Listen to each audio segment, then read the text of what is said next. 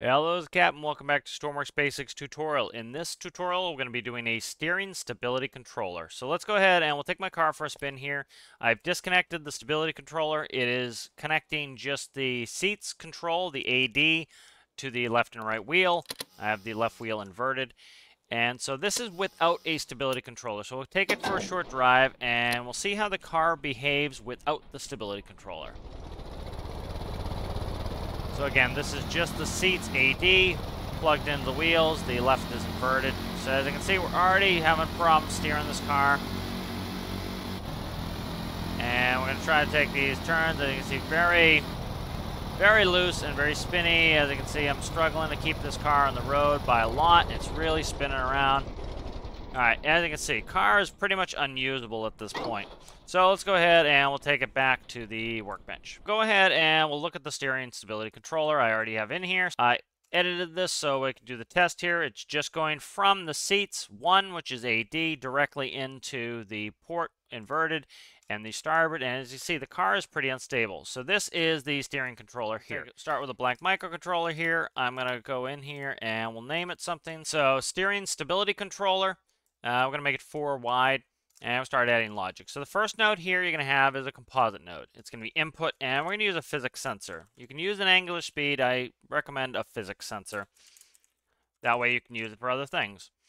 Next thing we're going to do is we're going to add another composite input, and that is going to be from our seat. After that, we're going to go ahead and we're going to do our port wheel. That's going to be an output.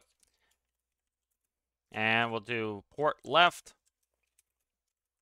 wheel, and then we're going to add our starboard wheel. We have our physics sensor, seat, port or our left wheel, starboard or right wheel, and let's go ahead in there. So we'll separate all of the outputs and the inputs.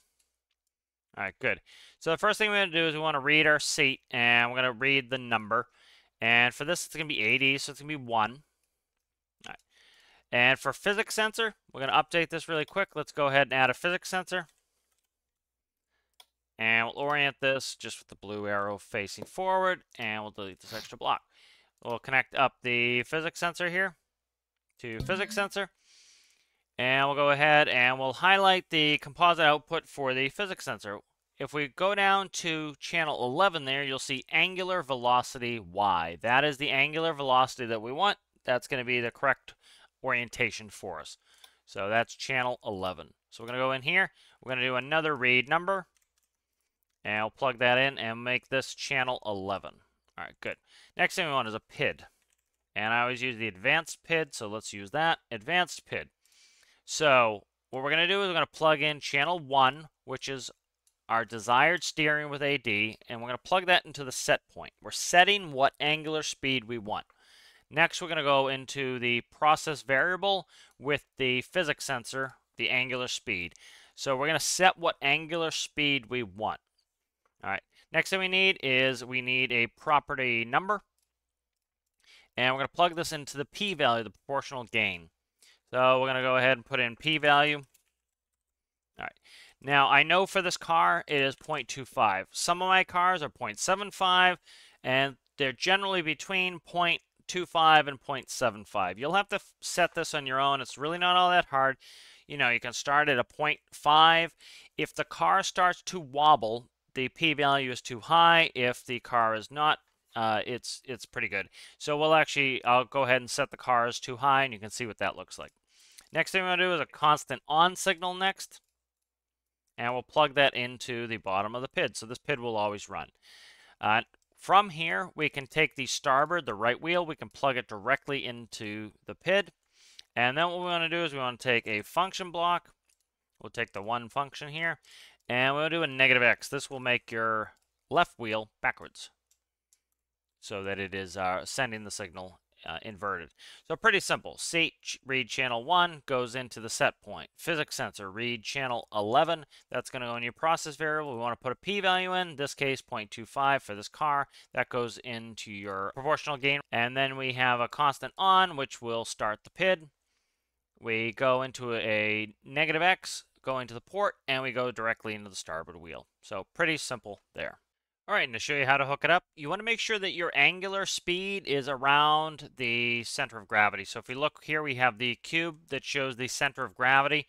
And if we look right here, this is where my physics sensor is. So you want to try to get it in the center of the car as close as you can. Mine's a little off center, but it works perfectly fine. Just trying to get it close to the center of gravity, that's going to work best for you. All right, so next thing you want to do here is we'll look and we'll look at the composite node. So right here we have physics sensor. Physics sensor again plugs directly into physics sensor. Steering goes from your seat's composite. Then you want to go from your steering starboard to the steering of that uh, right wheel. And then you have steering port. That's going to go to the steering of your left or your port wheel. All right, so we're back with this car here, and all I'm going to do is go into the steering stability controller and show you what will happen if your p-value is too high. So right now, our p-value is at 0.25, so let's make it a 1. So it'll be uh, four times as, as much. And we should get a wobble here as we go driving. So, so 0.25 is where it should be for this particular car. Again, different cars are going to require different p-values. So you can start seeing there's a little bit of wobble there as the controller tries to take over right there. See how the car is wobbling? That means your p-value is too high. And we'll fix it back to what I've already tuned this car to. I know that 0.25 for this particular car works. So we'll go 0.25, spawn that, and as you can see, this should not wobble when we go on straightaways. So if you're having that wobbling, you're going to need to decrease your p-value. it really depends on the car. I can't tell you one magic number that works for every car. It really depends on the car you're using. So just take it on a nice straightaway like this, and you notice no wobble. Alright, so that means that my p-value is tuned in. So pretty simple controller, but it really makes a car much more controllable, much more usable, and a hell of a lot more fun in game. So I hope you guys found that helpful, and I'll see you in the next one.